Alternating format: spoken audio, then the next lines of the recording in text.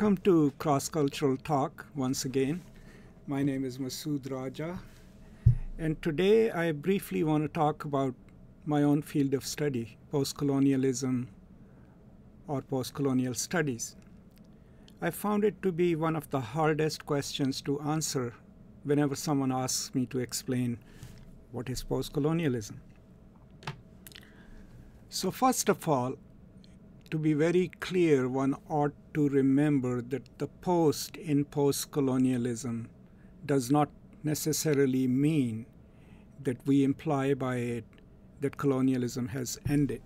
Now, we know that the physical occupation of what used to be European colonies, 19th and 20th centuries, is pretty much over, but we are also aware that a lot of new colonial or neo colonial practices especially economic, but also political, uh, still are going on. So I mostly rely on Robert Young's very clear definition of postcolonialism, in which he suggests that any work, scholarly and creative, that deals with the issues of European colonization of Africa, the Caribbean, Asia, and other parts of the world and that also traces not only what the colonizers did, but what kind of a response came from the colonized people. How did they represent themselves? How did they fight back?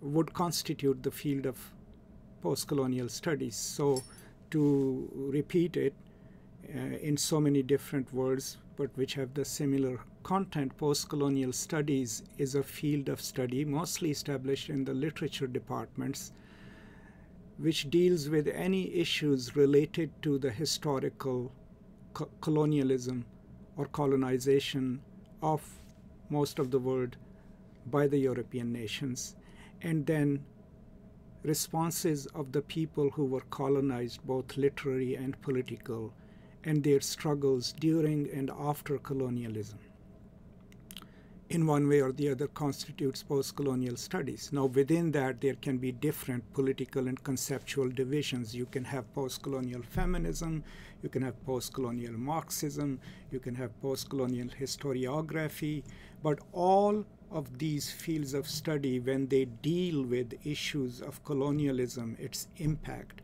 and its impact even after the post-colonies become independent nation states, all of that can be subsumed under the larger rubric of postcolonial studies.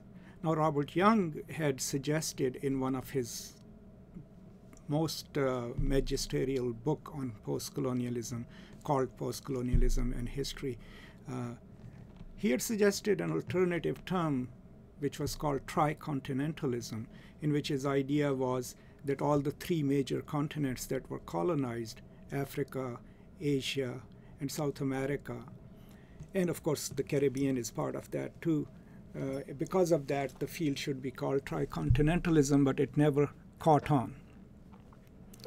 So, in your classrooms, when you take a course on postcolonial studies, most of the times students feel really intimidated, but it can be a very exciting class because what you will encounter in most postcolonial studies is some canonical texts of postcolonial studies. These are mostly theorists, but also novelists, short story writers, playwrights who form a sort of counter canon to, to the mainstream American or British lit canon. So you will probably read uh, Frantz Fanon, you will probably read Edward Said, Homi Bhabha, Gayatri Spivak. So the contemporary three major theorists were Edward Said, uh, he passed away, and then Gayatri Spivak and Homi Bhabha.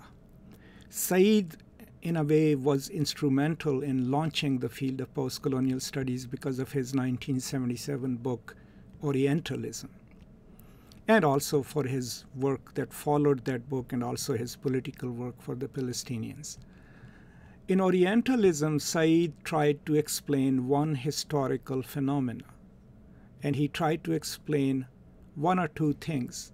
And the most important of that was that when you think of the Middle East, when Europeans or Americans think of the Middle East, why is it that without having read much about it, without having been there, people have a certain stereotypical view of the Middle East.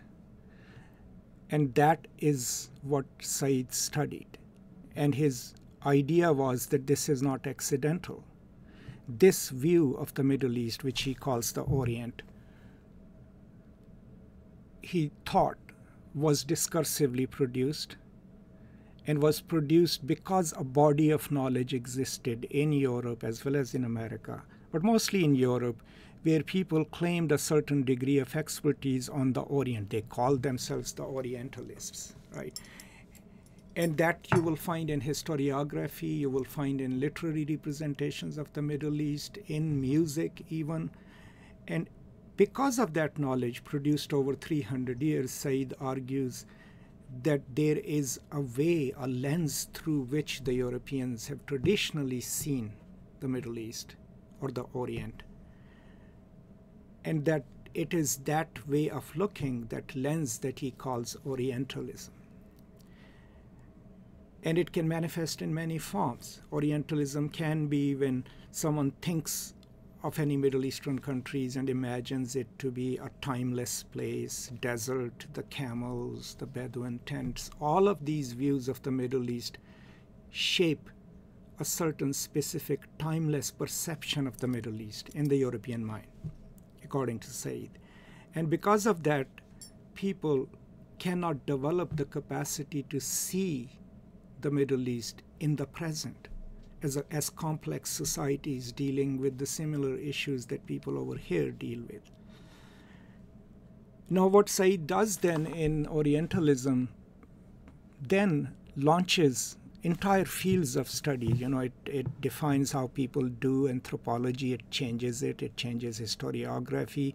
People stop recording histories of the rest of the world only from a Euro American perspective and they start trying to read it from the natives' perspective, and, and so on. In the field of literary studies, then it creates a space for the literary production, let's say from Africa, from South Asia, from the Caribbean, people start taking these texts seriously because not only are these masterful texts, they are also texts that, in one way or the other, respond to colonialism or the colonial experience. So, post colonial studies then develops a sort of a counter canon in which you have a list of theorists to read and you have a list of texts to read, novels, short stories, and we have a list of authors that are considered prominent or important post colonial studies authors.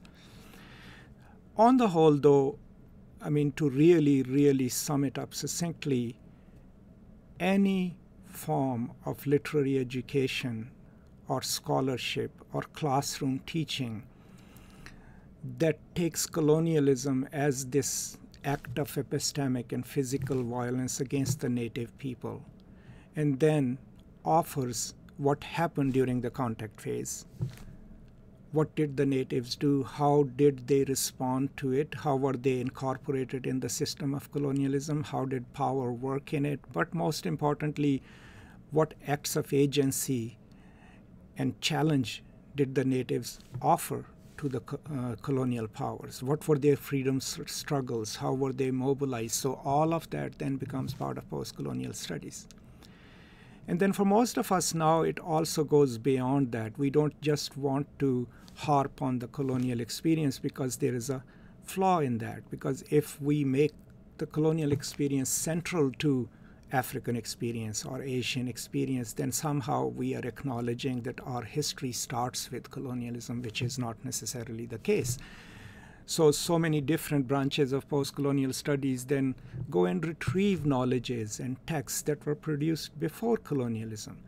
I'm not saying that it is possible to retrieve any pre colonial identities, cultural or political, but that people go and write about it. They try to imagine what life must have been before colonialism, and hence articulate that life would have gone on if this act of physical and epistemic violence had not stopped the development of those societies. But more importantly, post colonial scholars and writers dispel this idea as if somehow the present of the world is the present of North Atlantic regions and that somehow people in Africa and elsewhere uh, are behind in time. Well, I mean, they might not be as developed as United States and rest of the world, but that's a question of resources and not necessarily a question of Africans being inherently not capable of development. And these are some of the issues that we deal with. We also now increasingly also study uh, neoliberalism and the system of economics that's prevalent in the world and which is, of course, dominant in the world, which is sometimes enforced on the developing nations, on the post colonial nation states. So we also study the impact of neoliberalism and its implications for people uh, from the global south. All of these things then form part of post colonial studies, so there is no way one person can have an expertise in all facets of post colonial studies. Then there is a large strain in post colonial studies of Marxist scholars. These are the scholars who have a materialistic view of history, Robert Young being one of them. And they're the ones who, who constantly push against any culturalist claims against uh, post colonial theory, where, um, I mean, if everything is explained through culture, these people come along and say, no, the economics is involved there, class structure is involved there. And that makes the current state of post colonial nation states very acutely um, important for study in post-colonial theory. So some of us do also study the post-colonial nation state, what is happening over there, how much of what is happening is caused by the local causes and how much of it is already overdetermined by the global commitments of the neoliberal capital that these nation states uh, have to face every single day.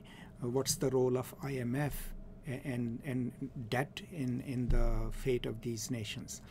All of this, these issues in one way or the other form part of post-colonial studies. So to sum up, post-colonial studies becomes a field of study after Edward Said publishes Orientalism. So it's very important to read Orientalism. But then as a field of study, it never assumes that colonialism is over. It just reads the colonial experience as one marker of the history of these nations. And then we read literary texts in the literature departments that represent that condition, that represent how people lived under colonialism, how they struggled against it, how they fought against it. Most importantly, tracing these acts of agency within the colonized nation states and nations becomes a very important part of post colonial studies. So, to learn more about it, uh, I would welcome you to visit my website, postcolonial.net. The website has been in existence since 2002. I have a lot of materials there. And if you have any questions, please feel free to contact me through the website. Thank you so much for joining me today, and I'll keep uh, producing such brief videos on different topics related to postcolonial studies. Thank you so much.